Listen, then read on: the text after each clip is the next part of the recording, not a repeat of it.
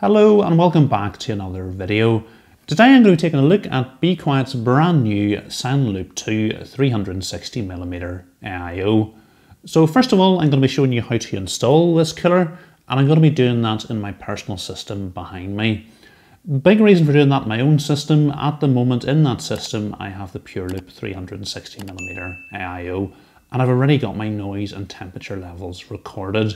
So I'm really interested to see how this cooler performs compared to the Pure Loop and what benefits it offers. So make sure to stick to the end of the video if you want to see how this performs and importantly whether I would recommend getting this over the Pure Loop AIO.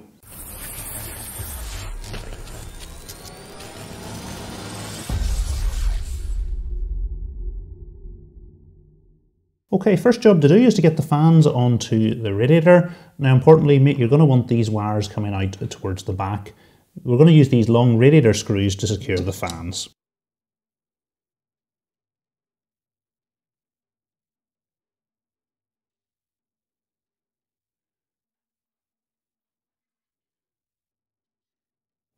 Coming from each of the fans, we've got a standard 4-pin fan connector, which we're going to need to plug into a triple splitter cable. So we'll go ahead and get these plugged in. Now we've got one single 4-pin fan connector which we're going to need to plug into the CPU fan header on our motherboard. I'm going to talk you through the cables coming from the pump now, but it's much easier to show you them on the flat table than it is once we put things into the case. The first connector is a standard 3-pin fan connector, and this is going to power our pump. So we're going to need to plug this into the pump header on our motherboard. The other cable coming from our pump is a standard 3-pin 5V addressable ARGB connector, which we need to plug into one of the ARGB headers on our motherboard to allow our motherboard's ARGB software to control the lighting on the pump head. There's no lighting on these fans, so it's just the lighting on the pump that is going to control. So it's really nice to see, coming from the same cable, BeQuiet have included another ARGB header. So even though you plug this into your motherboard, you've got another header here that you can plug an additional ARGB device into. So really nice touch. If your motherboard doesn't have an ARGB header, or for whatever reason you don't want to use your motherboard software to control the ARGB, be quiet include a controller which you can use instead. So all you would need to do is plug the cable coming from the pump into this controller. And the other end of the controller, you're going to need to plug a SATA cable in. And then you're going to need to plug this into a SATA cable coming from your power supply. Then you're going to be able to use the buttons on the controller to cycle through the various ARGB effects. And what's even better, because you've got this additional header, if your motherboard doesn't have ARGB, you can add other devices in as well. The final thing to mention about the ARGB is you've got this light bar around the pump here which lights up and obviously whether you use the controller or your motherboard software you're going to be able to control this lighting. The BeQuiet logo also lights up, but only lights up in white, and it doesn't actually sync with this RGB here. So you can either leave this on or turn it off, whatever your preference is. If you want to turn it off, you need to use this little tool here, which you'll find in the back of your instruction manual. It looks like a SIM card removal tool, and there's a little hole at the top of the pump head. All you would do is press down here. You'll hear a little click as you do, and that then will turn the lighting off. Obviously go in again, press again, and you'll turn the light back on again. Then we can go ahead and secure the radiator into the case using the short radiator screws. Next I'm going to go ahead and plug the cable coming from our fans into our CPU fan header which is in this header here just at the top of the motherboard. And then I'm just going to pull all the excess cable through to the back of the case. Okay, we're now ready to go ahead and install the brackets that are going to hold the pump to the motherboard because we're not going to use these stock brackets. So I'm going to show you today how to install this on an AMD AM4 socket. If you've got an Intel socket, um, I have installed this killer on an Intel build before. You'll find that in my Antec P120 Crystal build guide and there'll be a link to that in the description. What I would normally recommend doing is installing the brackets when you've got the motherboard out of the case because it's much easier to do that. The problem is this is my own personal system and I'm not going to take the motherboard out. It makes sense for me to do this while the motherboard's still in the case. But if you're doing a build from new, that's the way I would recommend doing it. Um, if I take both these clips off, each clip's held on with two screws, the back plate is going to fall away. So I'm just going to do one of them at a time. If you have got your motherboard flat on the table, it's going to hold the back plate in place so you can go ahead and do both together. Okay, first thing to do is to put these little spacers over each of the corners. Next thing to do is to put the bracket on. In each corner we have two holes. One is labelled AM4, so we're going to go ahead and put the screws through the hole labelled AM4. Now we are going to want it with this little pointed end facing towards the CPU and all we're going to do is lower the screws through the spacers and into our stock motherboard backplate. What I have found, if you give each of the screws a little turn by hand just to get it to catch with the backplate, you'll find screwing it in that little bit easier. And then we can go ahead and tighten things up with the screwdriver. Okay, so it's exactly the same process with the top bracket.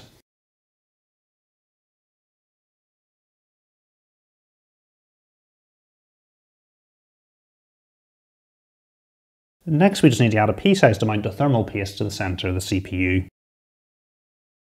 Now importantly, if you are using the cooler for the first time, you'll have some plastic protection on the cold plate which you're going to need to remove. I've used this before, so that's why I'm going to skip this step.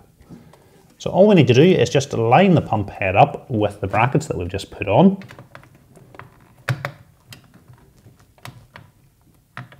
Once we're happy everything is lined up, we can go ahead and tighten things into place with a screwdriver.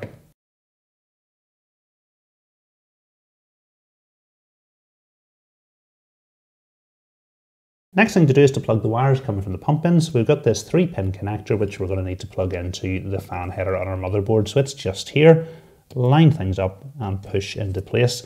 And then I'm just going to push all the excess cable through to the back. Last cable to plug in is our ARGB cable and we've got two options for this. We can plug it into the ARGB header on our motherboard. So I'll do that. And then all we would do is pull the excess cable through to the back. The option I'm actually going to go for is I'm going to go ahead and use the controller because I'm keen to show you what effect you get with the included controller. So I'm just going to go ahead and pull this cable through to the back. At the back of the case then we can go ahead and plug the ARGB cable into our controller, taking the SATA cable that we plugged in earlier on and plug it into a SATA cable coming from our power supply. And then all we would have to do is a bit of cable management at the back.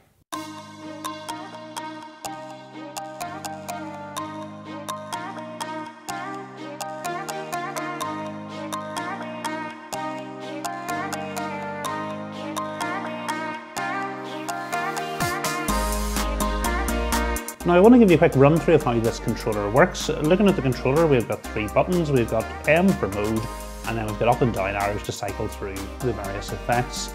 Now what mode you're in is shown by the colour of the LED light on the top. At the moment it's set to orange and orange will let you cycle through the various colours. So I'll press the up arrow to cycle through the different colours and show you what's available.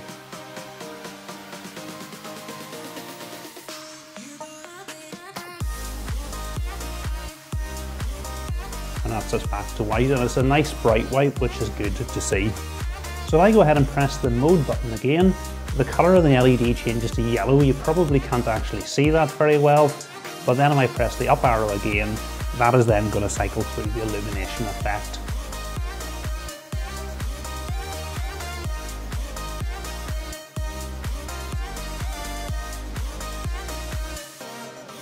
If I go ahead and press the mode button again, it's going to change to green and green is going to adjust the speed. So if I press the speed up, the speed should increase. Pressing the down arrow, the speed of the effect will decrease. Pressing the mode button again, we'll notice the LED has changed to blue and that is going to let us adjust the brightness. So turn things down, you'll notice things are fading all the way down the up arrow again, it's going to brighten up again. And if we press mode again, it's going to change to red, and red is the special effects. So I'll show you these.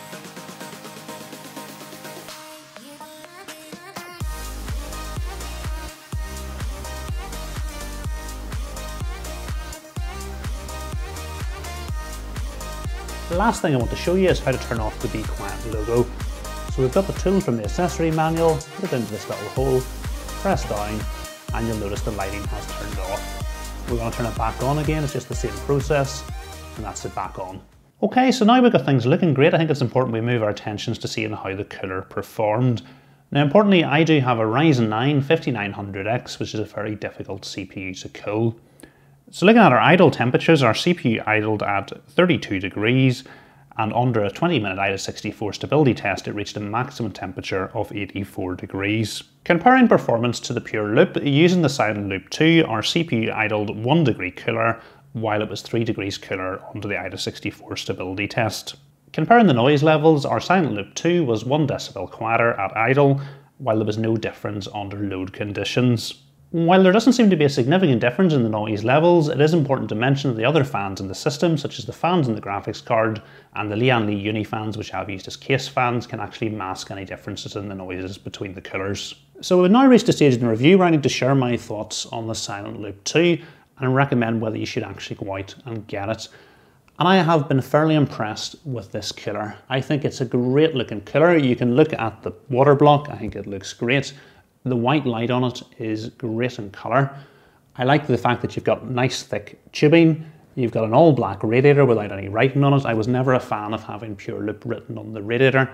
I think if it's one of your budget range items, you're better not to show that off. And the silent wing fans look great and perform great, and we got some great temperatures with this killer. I also think the ARGB controller is incredibly good. And I like the way that Be Quiet have done that with a little indicator light to show you which mode that you're on.